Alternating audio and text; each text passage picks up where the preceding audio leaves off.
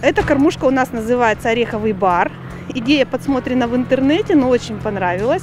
Она как раз подходит для парадного места, где у нас центральный вход и большая посещаемость людей.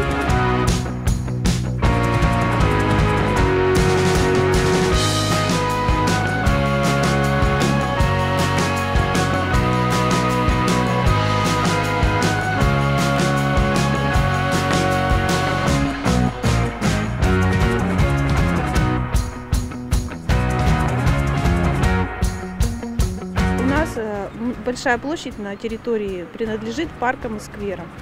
И так как в этой природе существует э, какая-то своя экологическая цепь, то поселяются животные. И люди, которые неравнодушны к животным, приносят корм и рассыпают его везде, где только можно. И чтобы как-то этот вопрос урегулировать и скоординировать в каких-то определенных местах, было э, придумано сделать кормушки. А тем более с тем, что осенью у нас поселились белки, поэтому подкармливать еще и белок. Такое общение с животными, конечно, пойдет пациентам на пользу, потому что взаимоотношения с природой всегда благоприятно влияет на человека.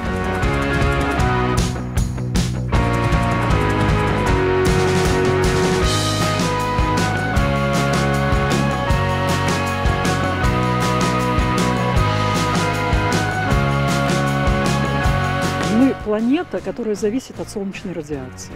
И вот периодически солнечная радиация, ее то больше, то меньше. И вот как только она увеличивается, то у нас увеличивается биопродуктивность, э, хорошо созревают семена на деревьях, э, следом появляются грызуны в большой численности. Мы в данном случае являемся наблюдателями такого определенного подъема численности белок, когда их стало много в лесу, и э, молодежь стала расселяться. Расселяться всюду, в том числе и в город. Опасностей серьезных для человека нет.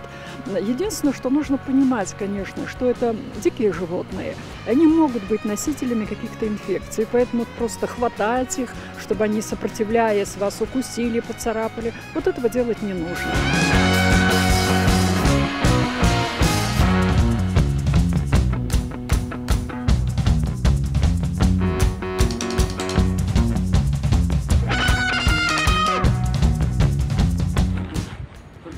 О, белки бегают. Классно вообще.